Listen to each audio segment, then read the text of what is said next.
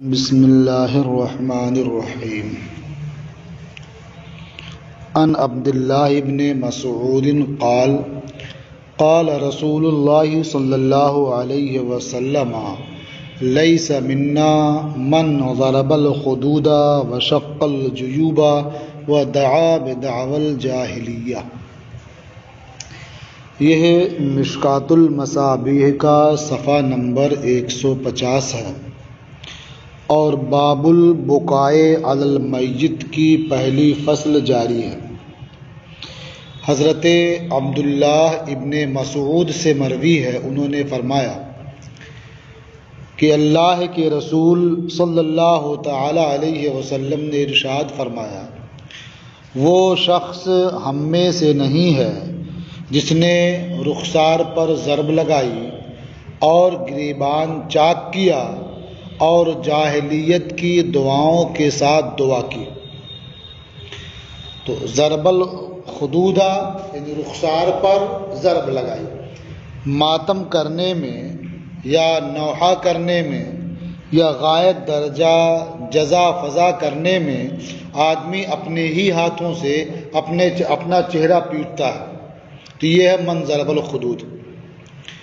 اور اسی موقع پر آدمی اپنے کپڑے پھاڑ لیتا ہے۔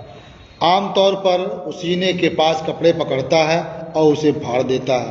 تو یہ شکل جیوب میں آیا۔ اور اس وقت بہت ساری ایسی باتیں کرتا ہے کہ جو نہیں کرنی چاہیے۔ جو جاہلیت میں کرتے تھے، جیسے یا ویلا، ہائے خرابی، ہائے بربادی، تو اس طرح کی بات نہیں کرنی چاہیے۔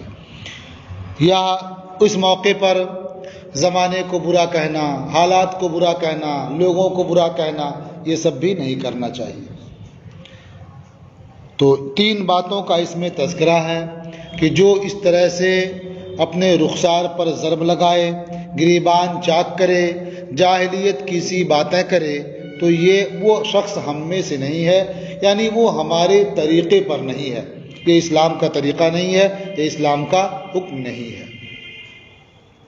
متفق علیہ، یہ حدیث متفق علیہ۔ وعن ابی بردتا قال، اور ابو بردہ سے مروی ہے، انہوں نے فرمایا، اغمیہ علی ابی موسا ابو موسا پر بے ہوشی تاری ہو گئی۔ فاق بلت امرات ام عبداللہ تسیح و برنتن رنا کہتے ہیں کہ وہ آواز جو رونے کے ساتھ ہو۔ تو جب ابو موسا پر بے ہوشی تاری ہوئی تو ان کی بیوی ام عبداللہ رونے کے ساتھ چیختی ہوئی آئیں۔ ثم افاقہ، پھر ابو موسا کو افاقہ ہوا، ہوش آ گیا۔ فقالا، تو انہوں نے کہا، علم تعلمی، کیا تجھے پتہ نہیں ہے؟ کیا تو جانتی نہیں ہے؟ راوی کہتے ہیں وہ کان یوحدثھا اور ابو موسا اپنی بیوی ام عبداللہ سے حدیث بیان کر رہے تھے۔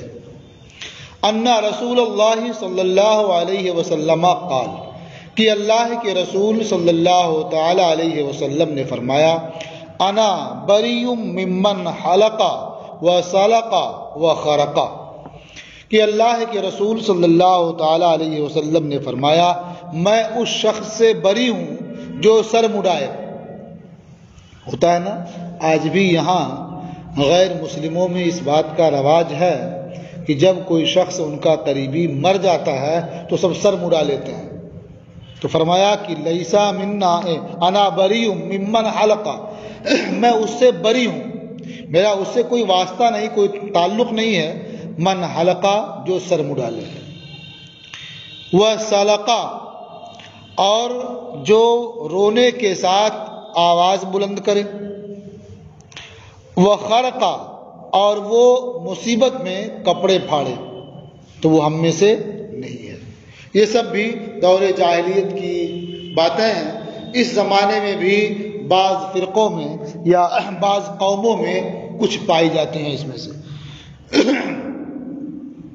متفق علیہ، یہ حدیث متفق علیہ ہے۔ وہ لفظ مسلم اور لفظ امام مسلم کی روایت کا ہے۔ وعن ابی مالک الاشعری قال، اور ابو مالک اشعری سے مروی انہوں نے فرمایا، قال رسول اللہ صلی اللہ علیہ وسلم اربع فی امتی من امر الجاہلیہ۔ اللہ کے رسول صلی اللہ تعالی علیہ وسلم نے ارشاد فرمایا کہ چار چیزیں میری امت میں امر جاہلیت کی ہیں۔ یعنی جاہلیت کے جو امور ہیں، انہی میں سے چار چیزیں میری امت میں ہیں۔ لا یترکونہن۔ میری امت میری امتی انہیں چھوڑیں گے نہیں۔ یا میری امت ان چاروں چیزوں کو چھوڑ نہیں رہی ہے۔ وہ چار چیزیں کیا ہیں؟ الفخر فی الاحساب۔ احساب حسب کی جمع ہے۔ حسب کہتے ہیں خاندانی مفاخر کو، باپ دادا کے قابل تعریف کارناموں کو۔ تو الفخر فی الاحساب، خاندانی قابل فخر چیزوں پر فخر کرنا۔ و تعانف الانصاب، اور دوسروں کے نصب میں تان کرنا، عیب بیان کرنا۔ والاستسقاء بالنجوم میں اور ستاروں سے بارش کی توقع رکھنا۔ یعنی یہ امید رکھنا کہ فلاں ستارہ فلاں جگہ پہنچے گا تو بارش ہوگی، فلاں نچھتر آئے گا تو بارش ہوگی۔ وہ نیاحتوں اور نوحہ کرنا۔ یہ چار چیزیں یہ امر جاہلیت سے ہیں، جو میری امت میں ہے یہ انہیں چھوڑ نہیں رہے ہیں یا چھوڑنے والے نہیں ہیں۔ وقالا، اور ارشاد فرمایا انائحتو اذا لم تتب قبل موتیہا، تو قام و یوم القیامہ، نوحہ کرنے والی عورت جب مر جائے اب مرنے سے پہلے توبہ نہ کرے۔ اذا لم تتب قبل موتها، جب وہ اپنی موت سے قبل توبہ نہ کرے، تو قام یوم القیامہ، تو اسے قیامت کے روز اٹھایا جائے گا۔ حالت کیا ہوگی؟ وہ علیہ سربال من قطران، اس کے اوپر قطران کی قمیص ہوگی۔ سربال کہتے ہیں مطلقاً قمیص کو مرد کی ہو یا عورت کی ہو۔ اور قطران ایک خاص قسم کا مادہ ہوتا ہے جسے کھجلی والے جانوروں کے جسم پر ملتے ہیں۔ اس سے کیا؟ خوب جلن ہوتی ہے۔ اسے تارکول بھی کہتے ہیں۔ جیسے یہ سڑک بناتے ہیں نا، اس پر کالا کالا جو ڈالتے ہیں، اسے بھی قطران کہہ سکتے ہیں۔ وہ درعم من جربن اور کھجلی کی قمیص ہوگی۔ درعن کہتے ہیں عورت کی قمیص کو۔ تو یہاں عام رکھا جی پہلے سربال کہا جو مرد عورت دونوں کی قمیص کو شامل ہے، پھر درعن کہا کہ عورت کی قمیص کو کہتے ہیں۔ اب قمیص قطران کی ہوگی اور قمیص کھجلی کی ہوگی۔ مطلب کیا ہوا؟ یہ ایسے دیکھنے والی کوئی قمیص نہیں ہوگی۔ اس کے جسم میں اتنی کھجلی ہوگی کہ وہ پورا حصہ ابھرا ہوا معلوم ہوگا کھجلاہٹ سے۔ تو لگے گا کہ ایک لباس ہے قمیص ہے۔ اور اس پر اتنی جلن ہوگی، اتنی سوزش ہوگی کہ جیسے اس کے اوپر سے تارکول مل دیا گیا ہے۔ تو دونوں چیزیں وہ پائی گئیں، پائی جائیں گی اس کے ساتھ۔ اور وہ اسی میں وہ خاتون پریشان ہوں گی، عذاب میں مبتلا ہوں گی۔ رواہ مسلم، اسے امام مسلم نے روایت کیا ہے۔ وعن انس قال، اور حضرت انس سے مروی ہے، فرمایا مرن نبی صلی اللہ علیہ وسلم بمراتن طبقی عندہ قبر. نبی کریم صلی اللہ تعالی علیہ وسلم کا گزر ایک خاتون کے پاس سے ہوا جو ایک قبر کے پاس رو رہی تھی. فقالا تو حضور نے ارشاد فرمایا اتق اللہ وصبری اللہ سے ڈرو اور صبر کرو. قالت، الیک عنی. اس خاتون نے کہا مجھ سے دور ہو جائیں۔ الہی کا انی الہی کا اس میں فیل الہی کا انی مجھ سے دور ہو جائیں۔ فائن کا لم تو سب مصیبتی کیونکہ آپ پر میری مصیبت نہیں آئی ہے، یا آپ کو میری مصیبت نہیں پہنچی ہے۔ یہ خاتون نے کیوں ایسا کہا؟ کہ جب ولم تعریف اس خاتون نے حضور کو پہچانا نہیں، اور اپنی مصیبت میں اس قدر وہ پریشان تھی، رو رہی تھی کہ اس نے اس طرح کی بات کہی۔ فقیلا لہا تو اس خاتون کو بتایا گیا ان نبی صلی اللہ علیہ وسلم۔ یہ تمہیں منع کر رہے تھے، یہ نبی کریم صلی اللہ تعالی علیہ وسلم ہے۔ تو اسے بہت احساس ہوا۔ فعتت باب النبی صلی اللہ علیہ وسلم۔ تو وہاں سے اٹھ کر کے وہ نبی کریم صلی اللہ تعالی علیہ وسلم کے دروازے پر آئی۔ فلم تجد عندہ بوابین تو اس خاتون نے حضور کے دروازے پر پہرے داروں کو نہیں پایا۔ جو دربان ہوتے ہیں، انہیں نہیں پایا۔ تو اس کے خیال میں یہ تھا کہ بادشاہوں کے دروازے پر پہرے دینے والے رہتے ہیں۔ تو جانے ہم اپنی بات وہاں وہاں پہنچ سکیں کہ نہ پہنچ سکیں کہ اپنی بات کہیں۔ تو جب وہاں پہنچی، دیکھا دربان نہیں ہے، تو اسے ایک طرح کا سکون ملا۔ یہ دربان نہیں ہے وہ حضور سے ملاقات ہو سکتی ہے۔ اپنی بات ہم ڈائریکٹ ان تک پہنچا سکتے ہیں۔ فقالت تو اب سرکار کی بارگاہ میں حاضر ہوئی، عرض کیا، لم عارف کا۔ حضور ہم نے آپ، میں نے آپ کو پہچانا نہیں۔ فقالا تو حضور نے ارشاد فرمایا، انما صبر عند صدمت الاولا صبر کامل تو صدمہ اولا کے وقت ہوتا ہے۔ یعنی مصیبت کے وقت جب وہ شروع شروع پہنچے، وہ صدمہ اولا ہوا، صدمہ ٹکرانا ہوتا ہے۔ جو کوئی مصیبت جو آتی ہے، وہ آپ کے دل سے ٹکراتی ہے۔ تو کبھی دل زیادہ مضبوط ہوتا ہے اور مصیبت کا کمزور پڑ جاتی ہے، تو آپ برداشت کر لیتے ہیں۔ کبھی وہ مصیبت بہت طاقتور ہوتی ہے، بڑی ہوتی ہے، دل کمزور ہوتا ہے، اس پر سر انداز ہو جاتی ہے۔ تو ٹکرانا کیا؟ یہی صدمہ ہے۔ تو صدمہ اولا کے وقت ہی اصل صبر ہے یعنی صبر کامل۔ ورنہ جب وقت گزرتا جاتا ہے، تو بڑی سے بڑی مصیبت ہلکی ہو جاتی ہے، صبر تو آ ہی جاتا ہے۔ تو حضور نے فرمایا ان نم صبر عند صدمت الاولا یعنی کامل صبر یہ صدمہ اولا کے وقت ہوتا ہے۔ جب مصیبت پہنچتی ہے، اسی وقت صبر کرے تو یہ کامل صبر ہے اور اس پر بے پناہ اجر و ثواب کا وعدہ ہے۔ متفق علیہ، یہ حدیث متفق علیہ۔ وعن ابی حریرتا قال، اور حضرت ابو حریرہ سے مروی فرمایا، قال رسول اللہ صلی اللہ علیہ وسلم لا يموت لمسلم ثلاثة من الولد فيلج النار الا تحلت القسم.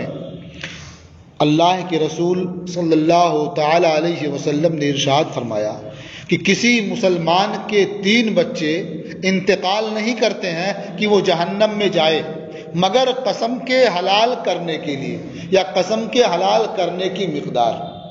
مطلب کیا ہے؟ قسم سے مراد کیا ہے یہاں؟ قرآن پاک میں چونکہ یہ صاف وارد ہے وہی منکم اللہ واردہ کان اعلیٰ رب کے حتم مقویہ حاصل کیا ہے کہ تم میں سے ہر ایک کو جہنم پر اترنا ہے۔ یہ حتمی فیصلہ ہو چکا ہے۔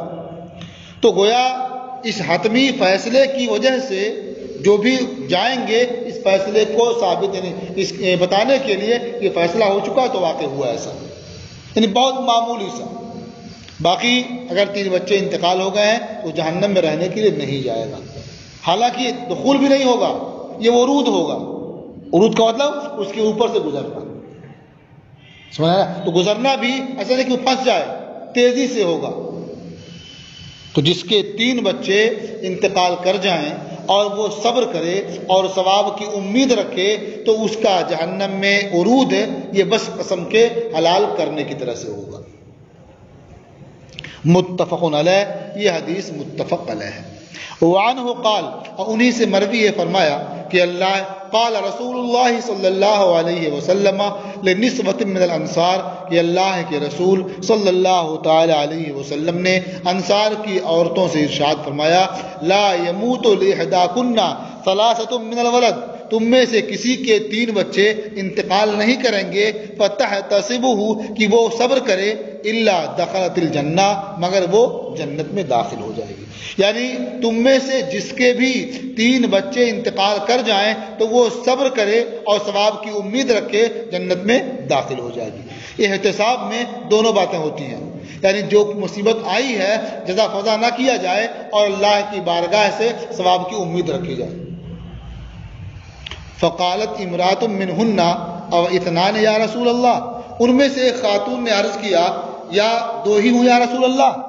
قال اب اطنان یا دو ہی ہوں۔ یعنی اگر دو بچے بھی انتقال کر جائیں اور وہ صبر کرے، اللہ کی بارگاہ سے ثواب کی امید رکھے، تو اللہ تعالیٰ اسے جنت میں داخل فرما دے گا۔ رواہ مسلم۔ اسے امام مسلم نے روایت کیا ہے۔ وفی روایت لہما فلاست لم یب لوگ اور بخاری اور مسلم کی ایک روایت میں ہے کہ تین بچے جو ہنس کو نہ پہنچے ہوں یعنی بالغ نہ ہوئے ہوں۔ ہنس قسم کو توڑنا ہوتا ہے نہانے سے ہوتا ہے مطلب گناہ۔ تو گناہ کی مدت کو نہ پہنچے ہوں۔ گناہ کب ہوگا؟ جب بندہ بالغ ہو جائے گا۔ نابالغ ہے تو اس سے گناہ نہیں ہوگا۔ تو مراد کیا ہے؟ کہ وہ بالغ نہ ہوئے ہوں۔ تو جس کے تین نابالغ یا دو نابالغ بچے دنیا سے رخصت ہو جائیں اور وہ صبر کرے، ثواب کی امید رکھے، تو اللہ اسے جنت میں داخل فرمائے۔ وعن ہو قال، اور انہی سے مروی ہے فرمایا، قال رسول اللہ صلی اللہ علیہ وسلم، یقول اللہ مال عبد المؤمن عندي جزاء اذا قبضت صفیہ من اہل الدنیا ثم احتسبه الا الجنہ۔ اللہ کے رسول صلی اللہ تعالی علیہ وسلم نے ارشاد فرمایا کہ اللہ تعالی فرماتا ہے کہ جب میں اپنے مومن بندے کی محبوب چیز اہل دنیا میں سے قبض کر لوں، پھر وہ اس پر صبر کی، اس پر ثواب کی امید رکھے، تو اس کا بدلہ میرے نزدیک جنت ہی ہے۔ سمجھ آیا ترجمہ؟ محاورہ ہو گیا۔ ہاں؟ میرے مومن بندے کے لیے میرے پاس کوئی بدلہ نہیں۔ جب میں اس کے، اس کی محبوب چیز اہل دنیا میں سے لے لوں، پھر وہ ثواب کی امید رکھے، مگر جنت۔ ان بدلہ کیا ہے؟ جنت ہی ہے۔ رواہ البخاری اسے امام بخاری نے روایت کیا۔ الفصل الثانی ان ابی سعید الخدری قال حضرت ابو سعید خدری سے مروی ہے۔ انہوں نے فرمایا لعنا رسول اللہ صلی اللہ علیہ وسلم النائحتا والمستمعتا اللہ کے رسول صلی اللہ تعالی علیہ وسلم نے لعنت کی نوحہ کرنے والی خاتون پر اور غور سے نوحہ سننے والی خاتون پر۔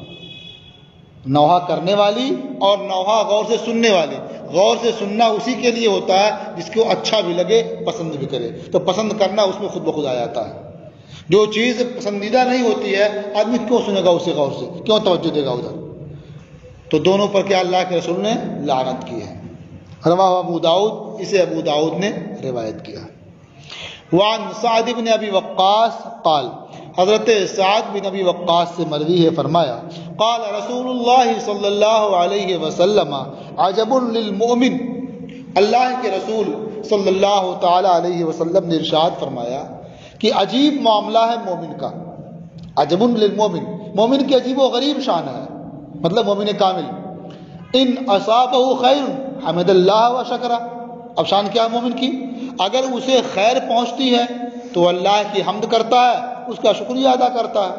وہ ان اصابہ مصیبت اصابت اور اگر اسے مصیبت پہنچتی ہے، حمد اللہ و صبر۔ جب بھی وہ اللہ کی حمد کرتا ہے اور صبر کرتا ہے۔ فل مومنو یو جروفی کل امر ہی تو مومن کو اس کے ہر امر میں اجر دیا جاتا ہے۔ یعنی خیر آئے تب بھی اجر مل رہا ہے، اور مصیبت آئے تب بھی اجر مل رہا ہے اسے۔ حتیٰ فی القمت ہی یہاں تک کہ مومن کو اس لقمے میں بھی عجر ملتا ہے جو لقمہ وہ اپنی بیوی کے منہ تک پہنچاتا ہے۔ یرفعوہا لقمہ اٹھاتا ہے بیوی کے منہ تک۔ اس سے مراد کیا ہے؟ خالی ہاتھ سے کھلانا نہیں ہے۔ ہاتھ سے کھلانا بھی ہے اور کسی بھی طرح سے اس کے منہ تک پہنچنے کا انتظام کرنا۔ کما کر کے لا کر کے دینا، یا کھانا لا کر کے دینا، یا کھانا بنوانا یعنی خوراک مہیا کرنا۔ اس میں بھی اس کے لیے اجر و ثواب ہے۔ تو معلوم ہوا کہ جو مومن کامل ہیں شریعت کے مطابق اپنی زندگی گزارتے ہیں تو ان کے ہر معاملے میں خیر ہے۔ خیر دیکھنے میں لائق ہو تب بھی خیر ہے، اور اگر مصیبت لائق ہو تب بھی خیر ہے اس کے لیے۔ اجر و ثواب ہے اس کے یہاں۔ رواہ البحقی فی شعب الایمان، اسے امام بحقی نے شعب الایمان میں روایت کیا۔ وعن انس قال، اور حضرت انس سے مروی ہے فرمایا قال رسول اللہ صلی اللہ علیہ وسلم، ما من مؤمن الا ولہ بابان. اللہ کے رسول صلی اللہ تعالی علیہ وسلم نے ارشاد فرمایا کہ ہر مومن کے لیے دو دروازے ہیں۔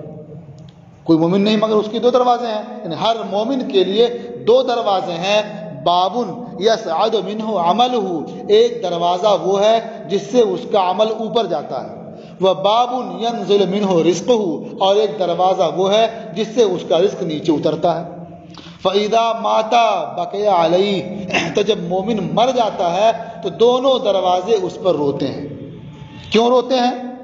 ظاہر بات ہے کہ عمل خیر اوپر جا رہا تھا، تو اس کے باعث اسے خوشی ہو رہی تھی کہ نیک بندے کا عمل میرے راستے سے جا رہا ہے۔ اب وہ بند ہو گیا، تو وہ روتا ہے غم میں۔ اور اس کا رزق اترتا تھا۔ بندے بندے صالح کے پاس آتا تھا، اس لیے خوش ہوتا تھا۔ اب وہ آنا بند ہو گیا تو وہ روتا ہے۔ تو بقے علیہ ہے دونوں اس پر روتے ہیں۔ فضالی کا قول تعالیٰ، یہی اللہ تعالیٰ کے ارشاد میں بیان ہے۔ فما بکت علیہم السماء والارض، تو ان پر آسمان اور زمین نہ روئے۔ یعنی جو کفار ہیں مشرقین ہیں، تو ان کے مرنے پر آسمان اور زمین نہیں روتے ہیں۔ یہ کس کے لیے ہوتا ہے؟ یہ مومنین کے لیے ہوتا ہے صرف۔ تو جو فما بکت میں ذکر کیا گیا ہے، یہی مضمون ہے وہ۔ مومنین کے لیے وہ دونوں روتے ہیں اور کفار مشرقین کے لیے نہیں روتے ہیں۔ رواہ ترمیدی اسے امام ترمیزی نے روایت کیا ہے۔ وہ عن ابن عباس قال، اور حضرت ابن عباس سے مروی ہے، فرمایا، قال رسول اللہ صلی اللہ علیہ وسلم، من کان له فرطان من امتی. اللہ کے رسول صلی اللہ تعالی علیہ وسلم نے ارشاد فرمایا کہ میری امت میں جس کے دو پیش رو ہوں، فرطان یعنی پہلے جانے والے ہوں یعنی جس کے دو بچے نابالغ، نابالغی کے عالم میں انتقال کر گئے ہوں، ادخلہ اللہ بہما الجنتا اللہ تبارک و تعالیٰ ان دونوں بچوں کے سبب سے اسے جنت میں داخل فرمائے گا۔ فقالت عائشہ تو ہمن کان لہو فارت من امتی کا تو ام المومنین حضرت عائشہ رضی اللہ تعالی عنہ نے فرمایا، تو وہ شخص جس کے لیے ایک ہی فرت ہو، آپ کی امت میں سے جس کے لیے ایک ہی پیش رہو قالا، ومن کان لہو فارت یا موفقہ حضور نے فرمایا اور جس کے لیے ایک ہی پیش رہو، اے موفقہ۔ یعنی ام المومنین کے بارے میں موفقہ۔ یعنی اے وہ عورت جسے خیر کی توفیق دی گئی ہے یا دینی مسائل دریافت کرنے کی توفیق دی گئی ہے، یا موفقہ۔ فقالا تم نے پوچھا، فمن لم یکن لہو فارتم من امتی کا یا رسول اللہ، تو آپ کی امت میں جس کے لیے کوئی پیش رو ہی نہ ہو، اس کا کیا حال ہوگا؟ قالا فانا فرت امتی۔ تو حضور نے ارشاد فرمایا کہ میں اپنی امت کا پیش رو ہوں۔ یا اس کے لیے پہلے جانے والا ہوں۔ لئی یوسابو بے مثلی وہ میری موت کے مثل کسی مصیبت میں مبتلا نہیں کیے جائیں گے ہرگز۔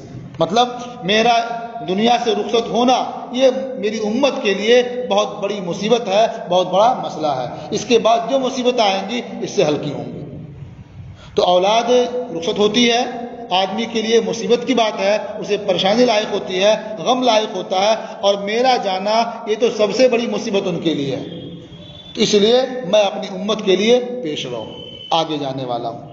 رواہ ترمیدی اسے امام ترمیدی نے روایت کیا وقالا ہادہ حدیث غریب اور فرمایا کہ یہ حدیث غریب ہے۔ وعن ابی موسا العشاری قال، اور ابو موسا اشعری سے مروی ہے، فرمایا قال رسول اللہ صلی اللہ علیہ وسلم، اللہ کے رسول صلی اللہ تعالی علیہ وسلم نے ارشاد فرمایا، اذا ماتا والد العبد جب بندے کا بچہ انتقال کر جاتا ہے، مر جاتا ہے، قال اللہ تعالی لملائکت ہی تو اللہ تبارک و تعالی اپنے فرشتوں سے فرماتا ہے، قبضتم ولد عبدی تم نے میرے بندے کے بچے کی روح قبض کر لی۔ فیقولون نعم۔ تو فرشتے کہتے ہیں ہاں۔ فیقول قبض تم ثمرتا فواد ہی اللہ تعالیٰ فرماتا ہے، تم نے بندے کے، میرے بندے کے دل کا پھل توڑ لیا، لے لیا۔ فیقولون نام وہ کہتے ہیں ہاں۔ فیقول مادہ کالا ابدی وہ اللہ تعالیٰ فرماتا ہے کہ میرے بندے نے کیا کہا؟ جب تم نے اس کے بچے کی روح قبض کر لی، اس کے دل کا پھل توڑ لیا، تو بندے نے کیا کہا؟ فیقولون، تو فرشتے کہتے ہیں ہمیں دکا وستر اس بندے نے تیری حمد و ثنا کی، اور انا للہ و انا الیہ راجعون پڑھا۔ فیقول اللہ، تو اللہ تعالیٰ فرماتا ہے ابن لعبدی بیتن فی الجنہ، میرے بندے کے لیے جنت میں ایک گھر بنا دو۔ وہ سمو ہو بیت الحمد، اور اس کا نام بیت الحمد رکھو۔ روا ہو روا احمد و ترمیزی اسے امام احمد اور امام ترمیزی نے روایت کیا۔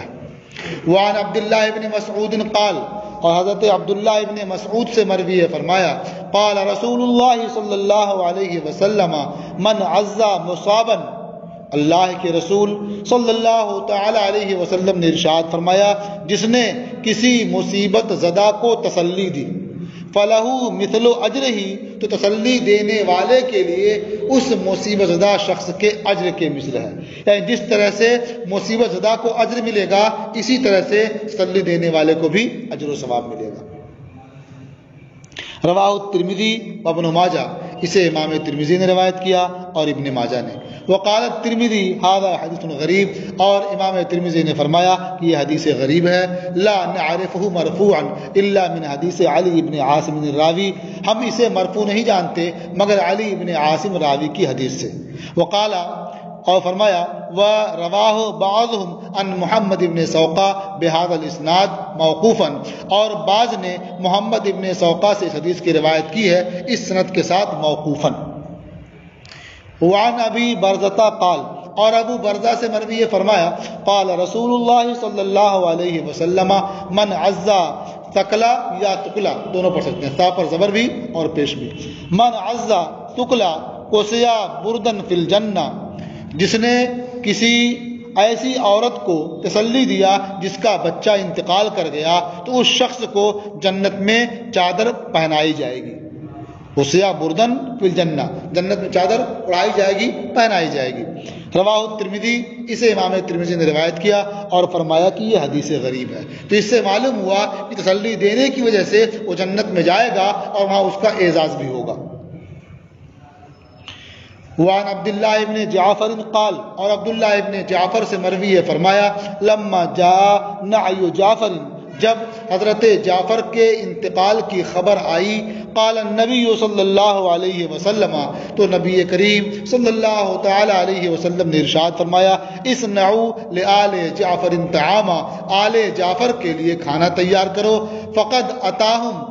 ما یشغلہم کیونکہ ان کے پاس ایسی خبر آئی ہے جو خبر انہیں غافل کر دے گی۔ یعنی انہیں کھانے کا بھی ہوش نہیں رہ جائے گا، اس لیے ان کے لیے کھانے کا، کھانا تیار کرو اور انہیں کھانا کھلاؤ۔ تاکہ ایسا نہ ہو، ایک تو مصیبت لاحقی ہے اور نہ کھانے کی وجہ سے یا اور پریشانیوں سے دو چار ہوں۔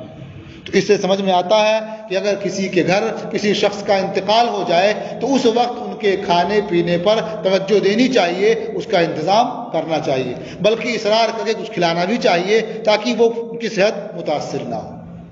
رواہ ترمزی و ابو داود و ابن ماجہ، اسے امام ترمزی نے روایت کیا اور ابو داود اور ابن ماجہ نے روایت کیا۔ الفصل الثالث، تیسری فصل۔ ان المغیرت ابن شعبہ مغیرہ ابن شعبہ سے مروی ہے۔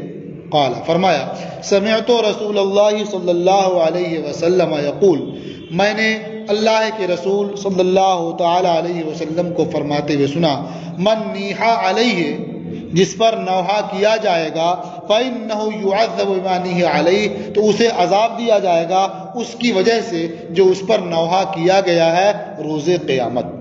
متفق علیہ، یہ حدیث متفق علیہ ہے۔ یہ دو حدیثیں اور ہیں، وہ بھی سماعت کر لیں۔ اکٹھا تینوں کا جواب دیکھ لیجیے گا۔ یعنی یا کچھ جواب تو پہلے بھی آ چکا ہے کہ نوحہ کوئی کر رہا ہے، عذاب دوسرے کیوں ہوگا؟ جواب اس کا آ چکا ہے، وہی جواب یہاں بھی ہوگا۔ یہ حدیث متفق علیہ ہے۔ وعن امرت نت عبد الرحمن وعن امرت بنت عبد الرحمن امرا بنت عبد الرحمن سے مروی ہے، انہا قالت انہوں نے فرمایا، سمعت عائشہ میں نے ام المومنین حضرت عائشہ کو فرماتے ہوئے سنا وہ ذکر اللہ ان عبداللہ ابن عمر یقول۔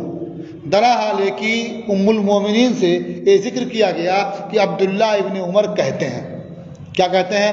ان المیتا لا يعذب بے بقائل حی علیہ۔ یعنی وہ کہتے ہیں کہ مرنے والے کو عذاب دیا جاتا ہے زندہ کے اس پر رونے کی وجہ سے۔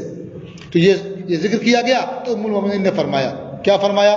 تقول، وہ فرماتی ہیں یغفر اللہ لابی عبد الرحمن اللہ تبارک و تعالی ابو عبد الرحمن کی مغفرت فرمائے یعنی حضرت عبداللہ ابن عمر کی مغفرت فرمائے، اما ان نحو لم یکدب سنو، یقیناً انہوں نے جھوٹ نہیں کہا ولا کن نحو نسیا لیکن وہ بھول گئے۔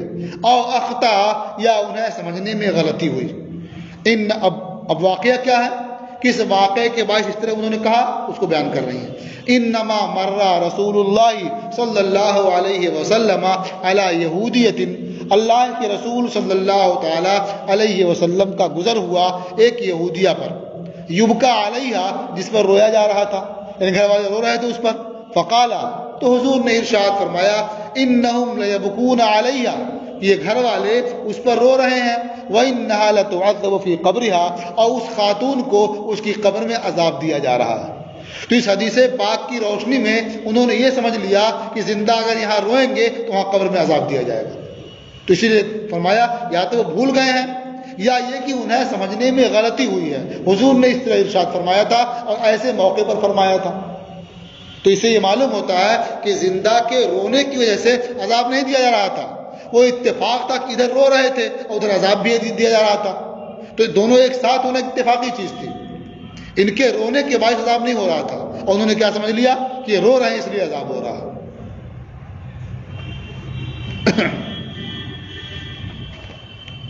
تو ایک جواب یہ بھی ہوگا۔ اوپر والے کا ایک جواب کیا ہے؟ یہ بھی ہوگا۔ لیکن وہاں کیا روزے قیامت عذاب دیا جائے گا؟ روزے کہہ دیا جائے گا مطلب وہی اگر اس سے راضی ہے یا اس کی وصیت کر گیا تو۔ اور دنیا ہی میں جو عذاب ہو رہا ہے تو رونے کے باعث نہیں، بلکہ وہ اتفاقی ہو سکتا ہے۔ یا رونے کے باعث کب ہوگا؟ وہی چیز۔ یا تو وصیت کر گیا ہو یا اس سے راضی ہو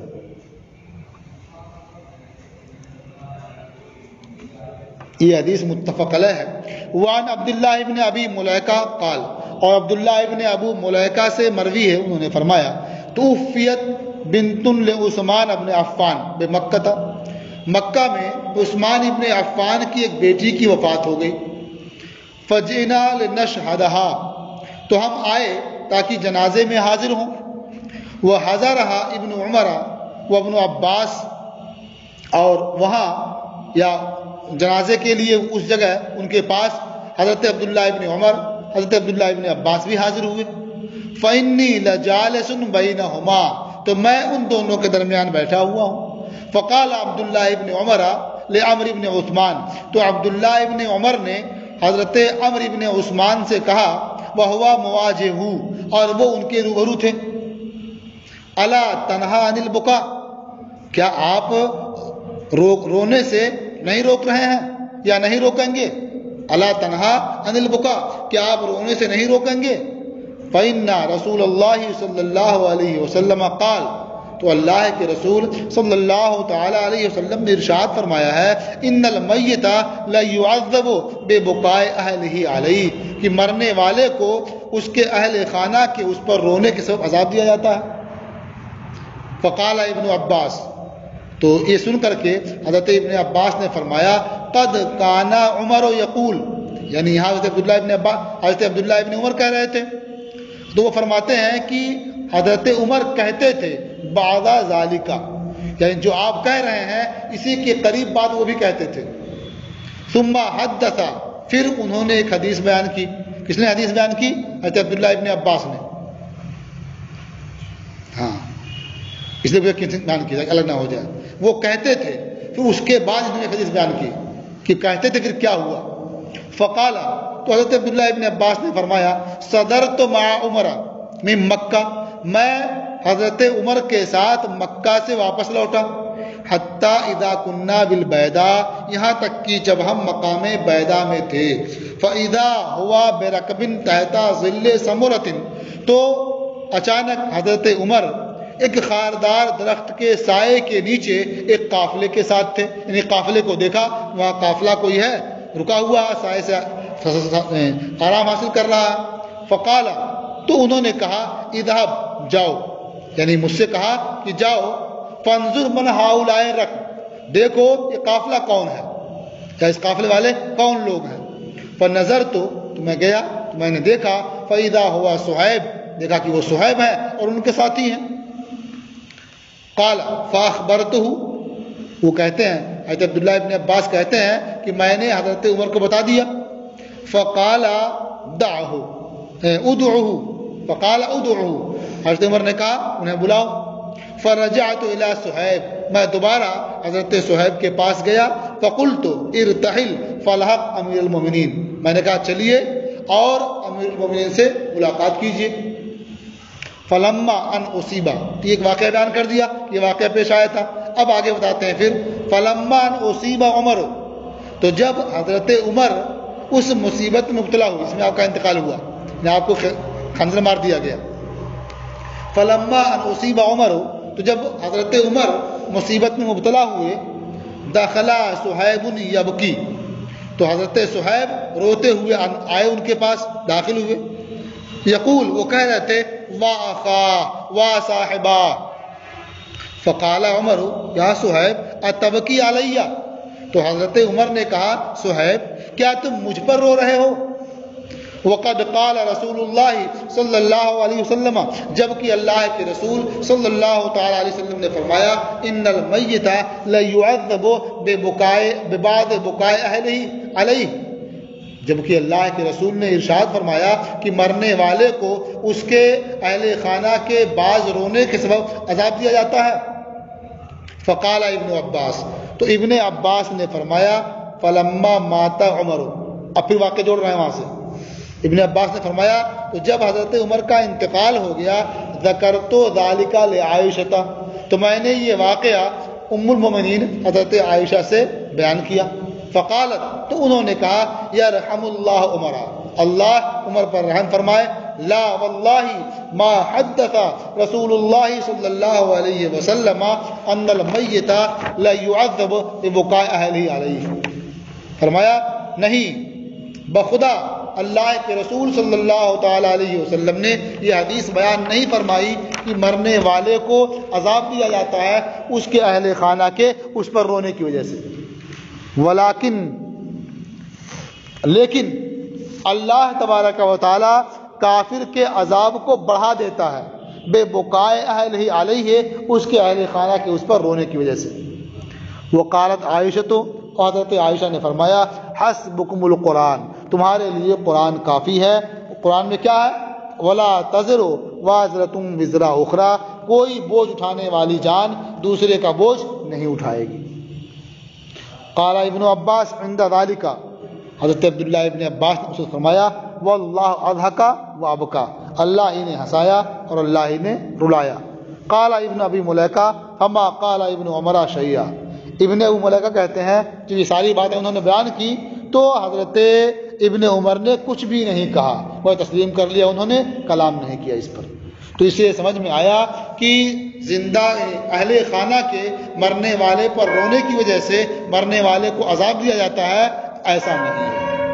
یعنی یہ حدیث ان کلمات کے ساتھ نہیں ہے۔ ہاں یہ مضمون اخذ کیا گیا اس طرح کی حدیث سے۔ جو یہودیہ کے بارے میں پیش آئی۔ لیکن چونکہ یہ روایت بھی بہت جگہ ہے، اس لیے شارحین وہ جواب دیتے ہیں کہ اگر یہ حدیث ہے، جیسا کہ روایت کی جاتی ہے، تو اس کا مطلب وہی ہوگا کہ اہل خانہ کے رونے کے باعث عذاب کب دیا جائے گا؟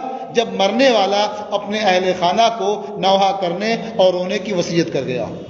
یا اس کے گھر میں اس بات کا معمول ہو اور اس سے وہ راضی اور خوش ہو اور اپنے لیے منع نہیں کر گیا تو اس پر عذاب ہو۔ سمجھیے نا؟ یہ صحیح ماننے کی تقدیر پر وہ جواب دیا جاتا ہے۔ اور اگر یہ ہو کہ یہ واقعی میں یہ الفاظ ہیں ہی نہیں، بلکہ اخذ کیا اس سے، یہ مضمون، پھر جواب دینے کو ضرورت پیش نہیں آئے گی۔ تو یہ آج کا سبق جو آپ کا یہیں پر موقوف ہوتا ہے۔